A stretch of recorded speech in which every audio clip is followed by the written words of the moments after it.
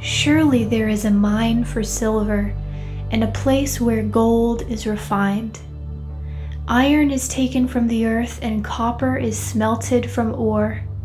Man puts an end to darkness. He searches to the farthest reaches for ore in gloom and blackest darkness.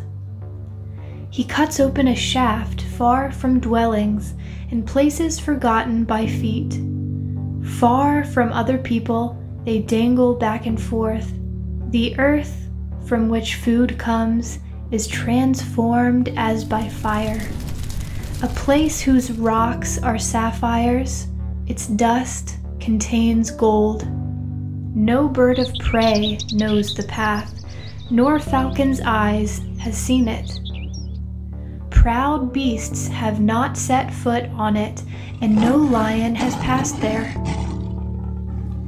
Man sets his hand against the flinty rock and overturns mountains by the roots. He carves out tunnels through the rocks. His eye sees every precious thing. He dams up streams from flowing and brings hidden things to light. But where can wisdom be found? Where is the place of understanding? No mortal comprehends its worth.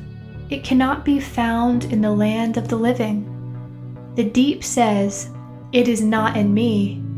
The sea says, It is not with me. Pure gold cannot be given for it, nor can its price be weighed in silver.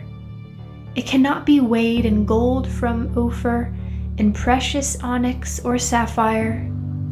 Neither gold or crystal can compare with it, nor vessels of fine gold exchanged for it.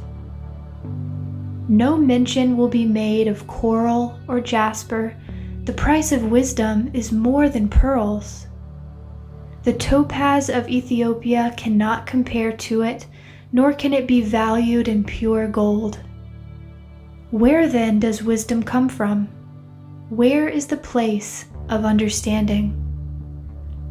It has been hidden from the eyes of all living things, concealed from the birds of the sky Abaddon and death say, With our ears we have heard a rumor of it. God understands its way and he knows its place. He looks to the ends of the earth and sees everything under the heavens. When he made the force of the wind and measured out the waters, when he set a limit for the rain and a path for the thunderstorm, then he looked at it and assessed it, established it, and examined it. And he said to mankind, The fear of the Lord, that is wisdom, and to turn away from evil is understanding.